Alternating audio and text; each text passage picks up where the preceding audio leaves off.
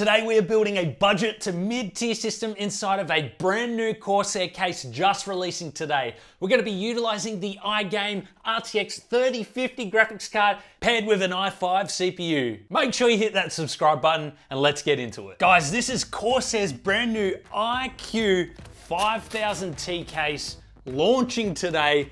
I cannot wait to do a build in this system. I know we're going for a budget build, but I just cannot help myself. I have to use this case. I'm gonna see what we can build inside of this with some budget or mid-tier components. Uh, I know the GPU that we're gonna be using is gonna look super small in this, so we might even use two reservoirs for the CPU loop just to fill out this case. I'm pretty sure it uses the same system as the 5000D. I may be wrong there, but we can take a closer look at it once I've got it outside of this box. It is also the white version that we're going to be using today, and I'm sure there's going to be many other channels with the black version if that's something you want to check out after this video. But to me, I'm really enjoying doing these white builds lately. They, they're just super clean. They do extremely well. They look super nice. So let's go ahead and I'll time lapse the rest getting this unboxed.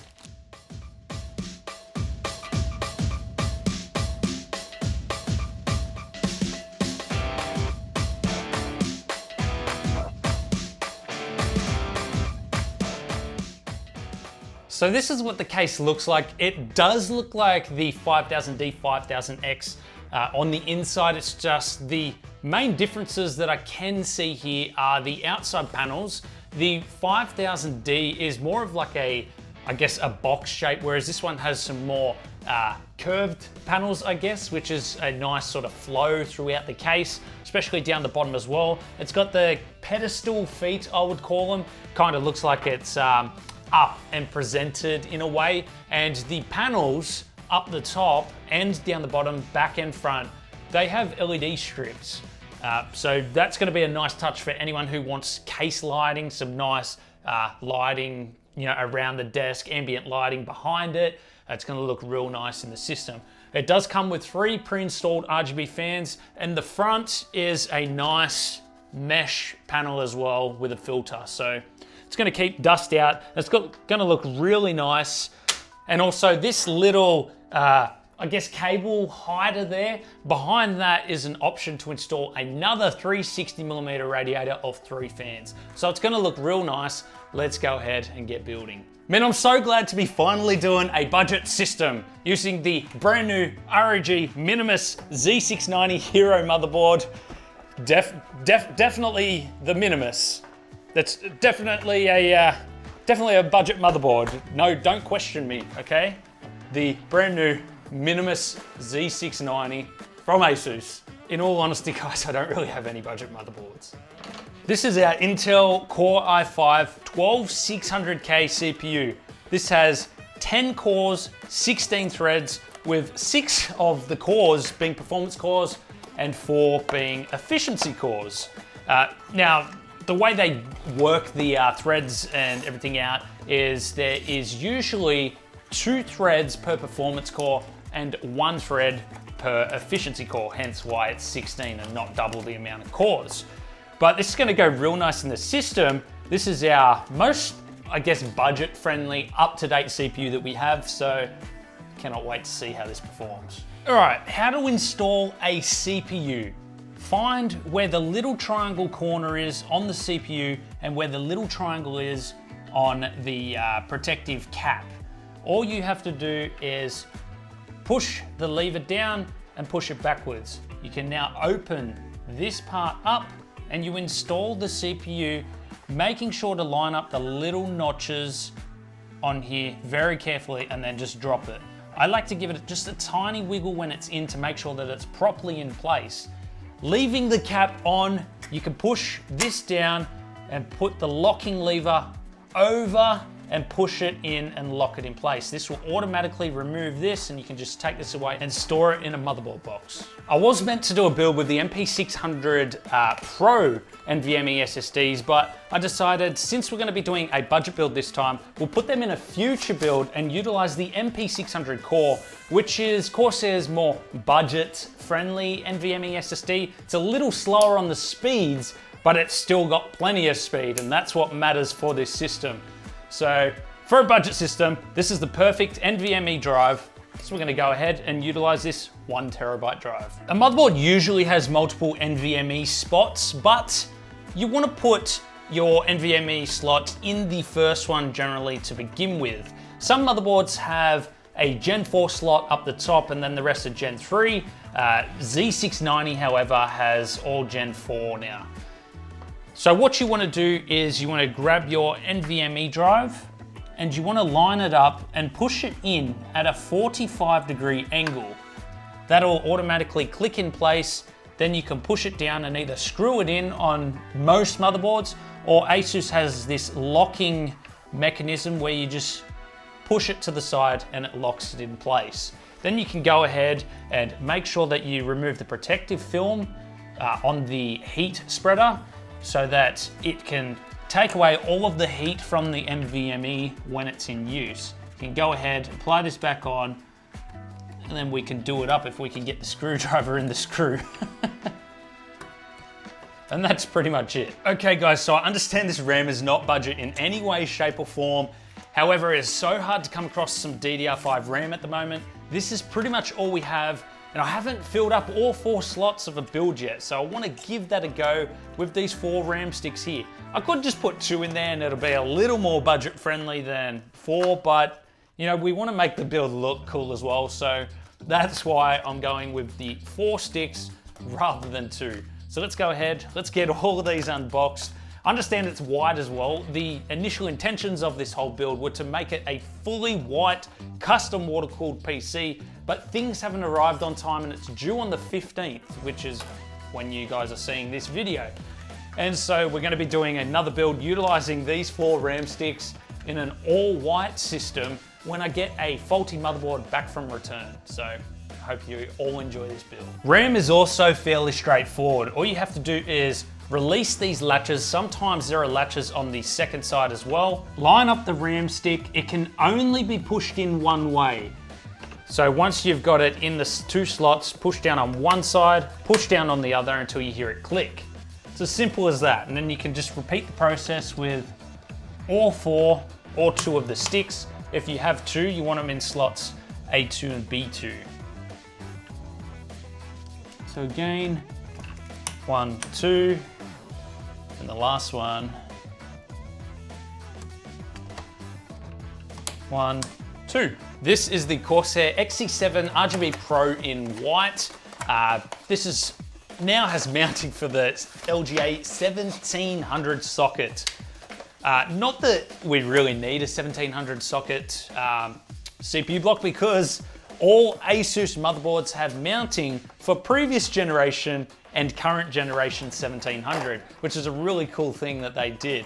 But I can't wait to put this on the motherboard. It's gonna look fantastic. Now that that is done, we can go ahead and install our CPU block. This CPU block comes pre-applied with thermal paste. So all we have to do is line it up with the screw holes like so, and then tighten it down. Guys, once again, I wanna thank you all for the support, for the subscribers, for liking the video, for all the comments recently. It's been much appreciated, especially when moving and trying out some new styles and formats.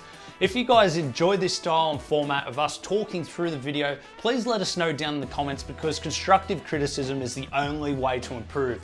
While you're at it, consider subscribing if you enjoy content like this. It really helps us out. It lets us know hey, we enjoy this content, we're gonna subscribe, we're gonna support you, and I'm gonna do my best to support you guys back.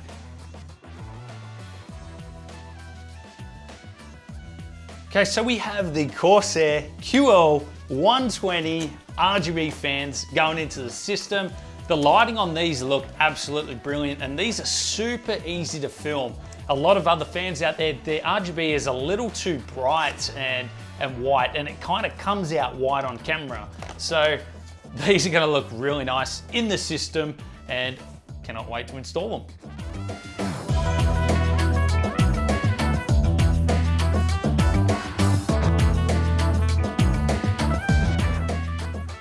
So for this particular system, I wanna create uh, a nice loop for the CPU. So I've got two 360 millimeter radiators in white from Corsair.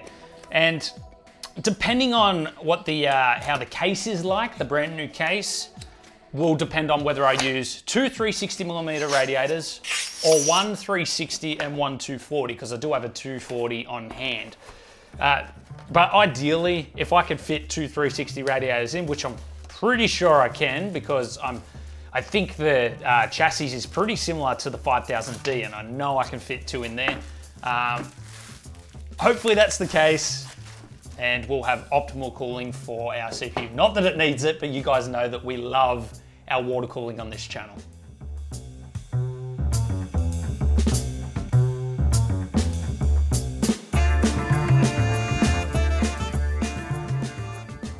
While we're installing the radios and fans, I just wanted to let you guys know about our monthly Discord giveaways that we're running and hosting over on our Discord server exclusively.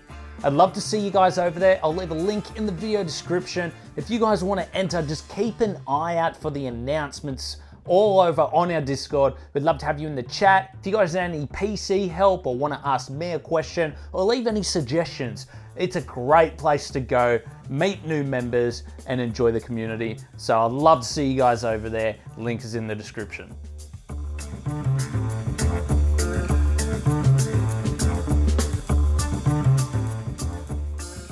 Okay guys, I am super excited about this GPU. Even though it's a 3050, we haven't had anything like this before. So this is gonna be our first, I would say semi-budget build, but we're utilizing the iGame 3050.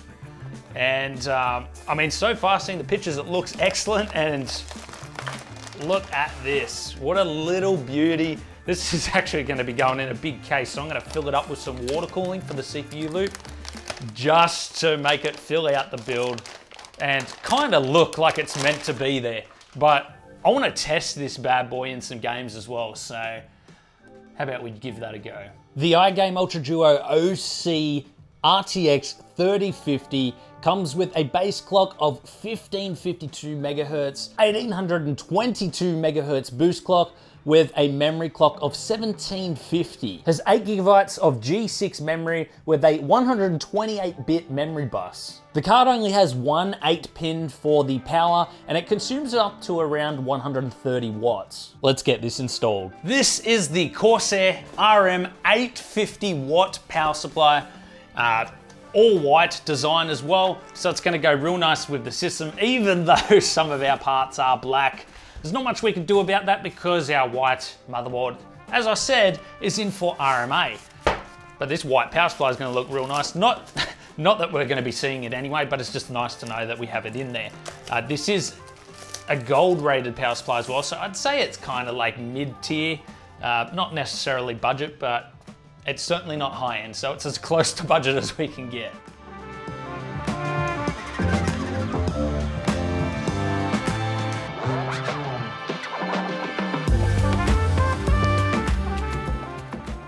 Now I want to cover the whole back section so there is no visible cables. I ended up measuring and creating this panel in Adobe Illustrator. I was able to send this to the laser cutter and then I cut it out in my acrylic. Then I was able to layer some paint on there. That's two coats of white. And once that was dried, I was able to install it to hide all of the cables. Now this particular panel was just installed with some double-sided tape. However, you can actually screw it in as well because there are some free holes which are already threaded on the actual back motherboard tray.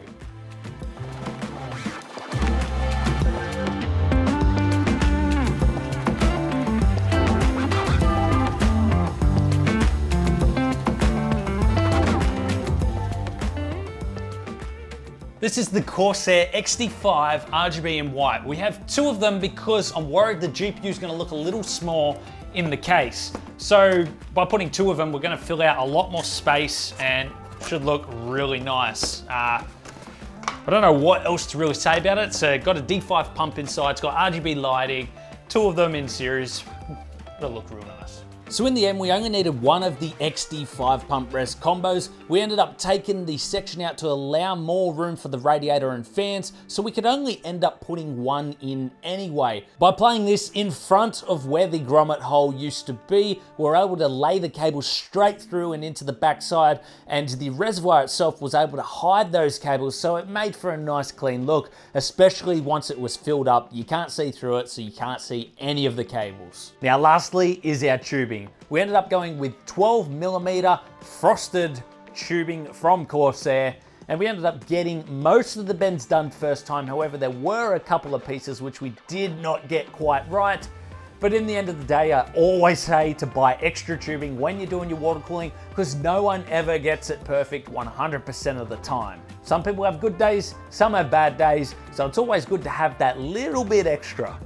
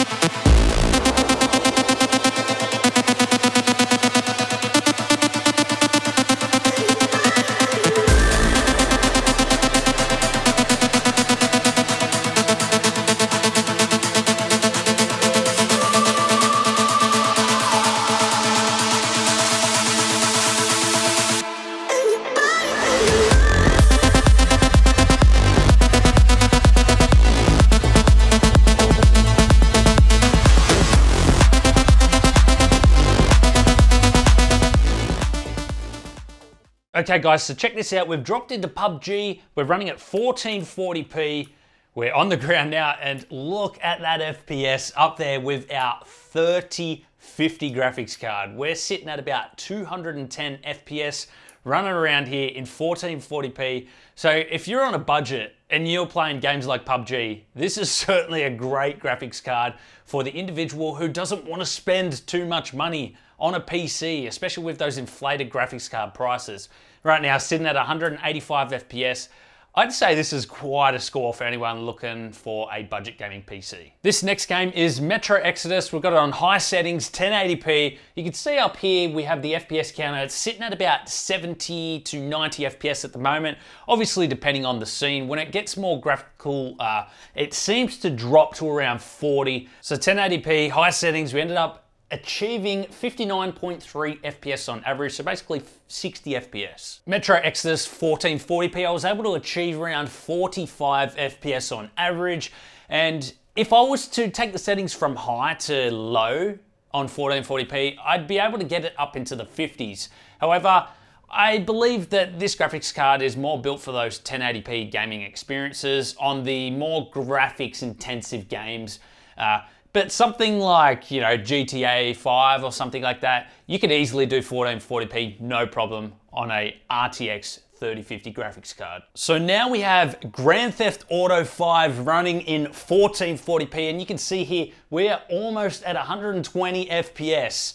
varies depending on the scene, but we've seen anywhere from like 90 FPS all the way up to 150 FPS, which is absolutely incredible for an RTX 3050. So if you guys are after a decent gaming PC, an RTX 3050 might be something to look at if you're on a budget. Guys, thank you so much for watching. I hope you all enjoyed the build. Consider joining our Discord, link down in the description. I'll have all the links for the parts down there as well. And make sure you subscribe. Leave your comments down below. What did you like about this new case? What about the RTX 3050 GPU from iGame? And don't forget, if you'd like to support the channel, Patreon or YouTube channel memberships is the best way to do that. All the links will be down below and we'll see you all in the next one.